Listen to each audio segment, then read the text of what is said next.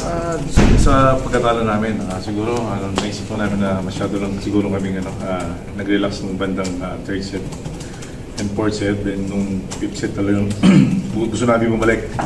Hindi na kami nakabalik kasi talagang momentum nung, nung, ano, nung signal talagang nakuha nila. Ah, mapa-serve nila, mapa-offense nila, mapa-floor defense nila. Talagang kahit anong gawin namin talagang ah, nakuha nila eh. Coach, kamusta lang yung moral ng players sa loob ng dugout? And ano sinabi mo sa kanila? Ah, una siyempre, lahat kami, tulad na nag-isip ng gagawin. Pero end of the day, talagang kailangan din namin talagang ano, matutunan manalo sa ganitong sitwasyon. Kasi sabi ko nga sa player ko, ah, gusto namin manalo, un- una sabi namin gusto namin manalo ng set, na makapasok sa podium. Then, ngayon, tinarabahan naman namin, nakuha namin yung, ano, nakuha namin yung ah, Final Four. Then ngayon, sabi ko sa kanila, sa pagkatalo natin to, eh, kailangan, kailangan natin trabaho ulit yung, ano, yung semis. Kasi hindi ibibigay sa atin ng, ano, ng, ng, ng, ng, ng madali lang. Kasi yun nga, sabi ko nga, it's, labanan to ng mga may experience talaga pagdating sa ganitong sitwasyon. Kasi alam naman natin yung signal na every conference talagang uh, title contender sila. Ah, basta sinabi ko lang sa, sa kanila na kailangan namin trabaho ulit sa bukas and sa Saturday para makakuha ulit kami ng ano, sa pamahalaan.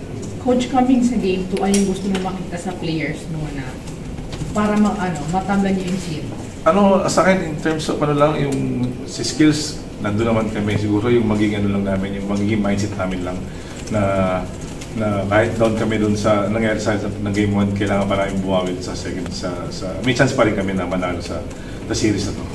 Yun lang naman ang importante sa sa ngayon sa amin. Coach, 10 game win streak snap. So I guess parang is this going to be back to the drawing board for the team or hindi baliwala din ba yung win streak na yun for you guys? Ah, well, importante sa amin yun, dun sa, sa win streak na yun para dito sa semis na yun. Although siyempre kinapos kami ngayon, ah, importante, ano, ganun pa rin, babalik at babalik talaga kasi kung ano pa yung dapat namin gawin, ano yung pagkukulang namin sa laro. Ah, yun lang ang gagawin natin. Coach, one day lang po yung magiging preparation ng team. Kumu- Kumusta po yung moral ng team and paano nyo gagamitin yung one day na yon para makabalik din agad? No, kailangan talaga namin pag-usapan pa kung ano talaga yung pwedeng gawin. Hindi, hindi lang coaches, pati yung players. Kasi sa ganitong sitwasyon, na kailangan din magpahinga sa mga players. Hindi naman kailangan kung ano mga mali, ulit-ulitin namin. Importante lang, ah, makita lang namin namin kung ano yung mga naging problema namin sa game na yon then ano pa yung dapat namin gawin sa susunod. Chubing, after 10 wins po, parang tingin niyo ba, hindi man ideal matalo sa game 1, pero parang kinailangan pa nilang maramdaman ulit yung feeling na matalo at maghabol para lumakas pa sa mga darating. Siguro tingin ko parang gano'n na rin eh. Parang sabi ko nga, hindi ibibigay sa amin ng madali eh. Although meron na kaming pinanghahawakan ng 10, na 10 game ano, winning streak. Pero sabi ko, is-semis to, iba to eh. Iba na yung record dito sa semis to eh. Best of 3 na. Ah, laking tulong yon pero talagang kailangan pa rin talagang ano, pagtrabahuan kasi yun nga, dahil sa, sa ganitong sitwasyon, medyo mabigat talaga yung laban nila.